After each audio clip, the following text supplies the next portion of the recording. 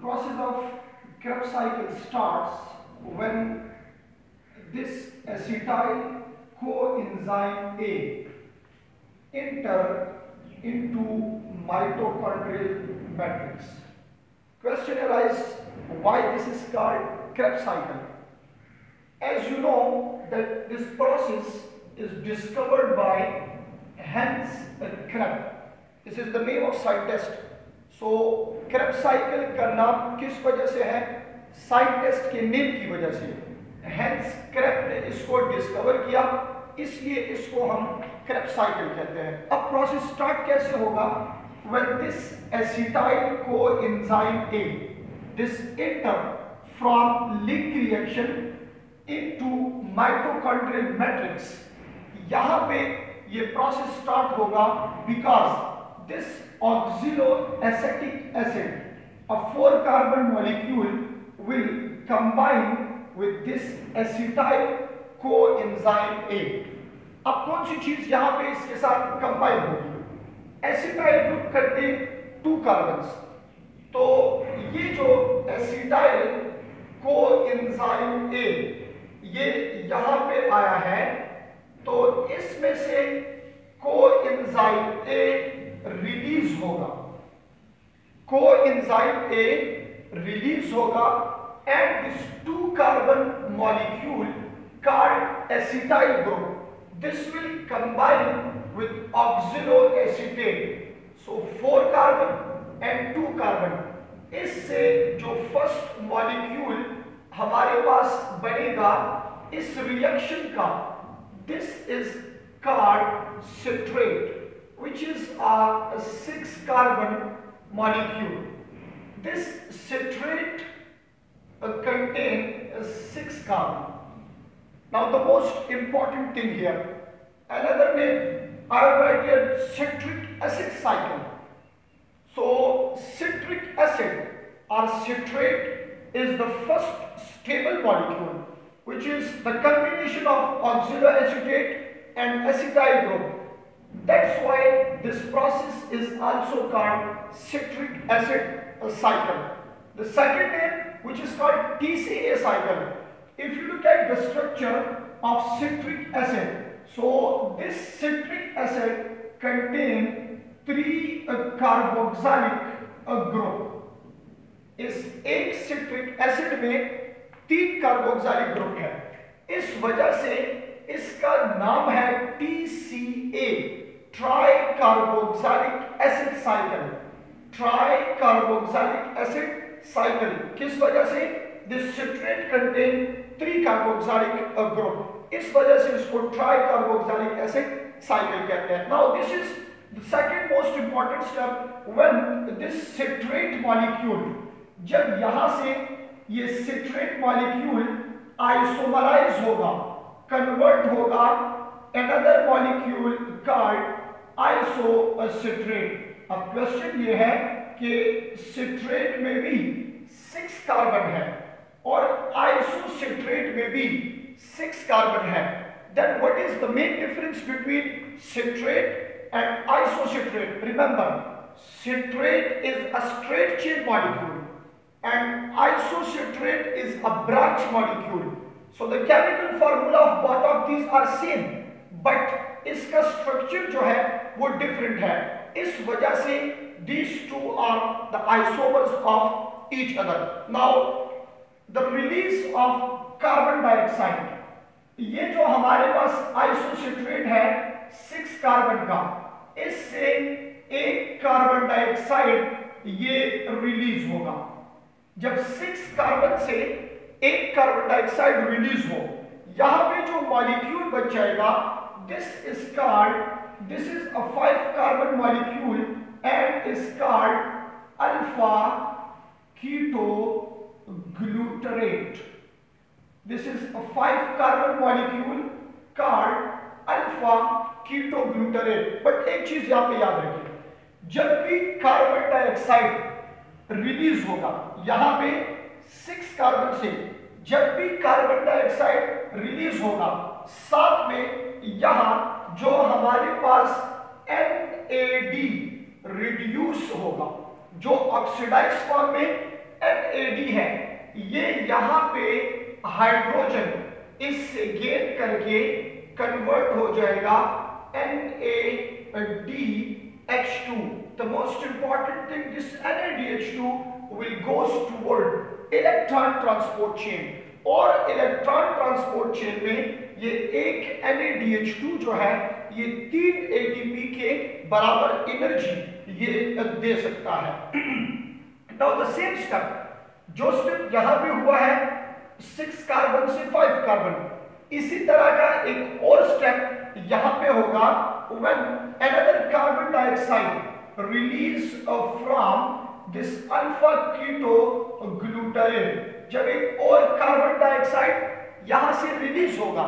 अब इसमें भी जो एन ए डी यहाँ पर प्रेजेंट है this N A D will enter and will leave as N A D H two so oxidise coenzyme reduce here and it store energy this N A D H two is equal to three A T P in case of electron transport chain अब जो citrate से जो citrate से isocitrate isocitrate से carbon dioxide release हुआ। So five carbon molecule is called alpha ketoglutarate and six carbon molecule जो हमारे पास convert हो रहा है, अब इस फाइव कार्बन से जो मॉलिक्यूल यहाँ बनेगा this is a four carbon which is called succinyl but ये कोएंजाइम ए जो यहाँ रिलीज़ हुआ है this coenzyme A will combine with this succinyl so that's why the molecule is now called succinyl coenzyme A गौर से दोबारा देखिए ये coenzyme A जो रिलीज़ हुआ है ये यहाँ पे इस succinyl फोर कार्बन मॉलिक्यूल के साथ कंबाइन होगा now this molecule is called succinyl अब जो सक्सिनाइल कंबाइन हुआ है इसी टाइम ये दोबारा इससे रिलीज़ होगा। वाई कंबाइन एंड रिलीज़ अब सक्सिनाइल से जब भी को एंजाइम रिलीज़ होगा this will be converted into succinate now this is four carbon succinate is also a four carbon molecule point to remember ये को एंजाइम ए जब भी यहाँ से रिलीज़ होगा तो इस सबस्ट्रेट से एनर्जी रिलीज़ होगी। जब भी ये कोएंजाइम ए इस से रिलीज़ होगा, यहाँ एनर्जी रिलीज़ होगी और जो एनर्जी यहाँ से रिलीज़ हो रही है this energy is responsible to combine ADP and phosphate to form ATP molecule इससे एटीपी मॉलिक्यूल बनेगा। Now the synthesis of ADP and phosphate when they combine together it mean the synthesis of ADP from ADP and phosphate is called phosphorylation but in this case the energy comes from substrate इस phosphorylation के लिए energy substrate से आ रही है.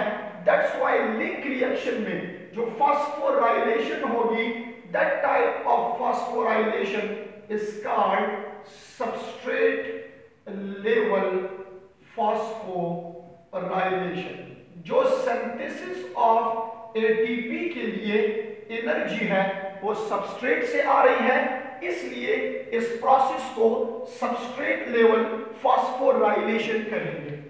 अब जो succinate है four carbon molecule ये फोर कार्बन मॉलिक्यूल यहाँ हाइड्रोजन रिलीज़ करेगा।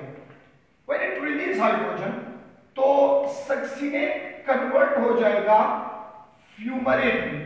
Fumarate also contain four carbon क्योंकि इसने कोई कार्बन रिलीज़ नहीं किया, सिर्फ़ हाइड्रोजन क्वेश्चन ये है, वो हाइड्रोजन कहाँ जाएँगे?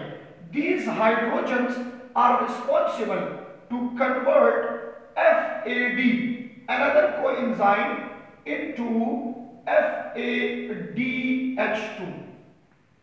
अब यहाँ पे इन दो प्रोसेसेस में NADH2 बन रहा है एक NADH2 यहाँ बना है एक NADH2 यहाँ बना है these are also the source of energy ये जो FADH2 बना है this is also the source of energy but the difference is that NADH2 is equal to 3 ATP and FADH2 is equal to 2 ATPs अब अगर students को बात MCQs पे ये कंफ्यूजन होती है कहाँ पे NADH2 बन रहा है कहाँ पे FADH2 सो so, एक जनरल फार्मूला है इसको याद रखिए सक्सीनेट जब फ्यूमरेट में कन्वर्ट होगा F for fumarate and F for FADH2 अब ये याद करने की चीज़ है F for F for fumarate F for FADH2 जहाँ पे फ्यूमरेट बन रहा है, वहाँ पे एफ़ टू बनेगा। बाकी पूरे साइकिल में कहीं पर एफ़ टू नहीं है। हर जगह पे जो है, हमारे पास एन ए टू ये बन रहे हैं। Now this four carbon molecule fumarate will be converted into another molecule by another process in which water is gained when fumarate gain water molecule जब भी फ्यूमरेट वाटर मॉलिक्यूल गेन करेगा this fumarate will be converted into malate malate is also a four carbon molecule सिर्फ़ इन दो processes में carbon dioxide release हो रहा है, बाकी सारे फोर कार्बन मॉलिक्यूल है and this fumarate will be again converted into oxaloacetate when an NAD enter and release as NaDH2. Malate is again converted into oxaloacetate and this oxaloacetate is now ready to do another cycle. Why?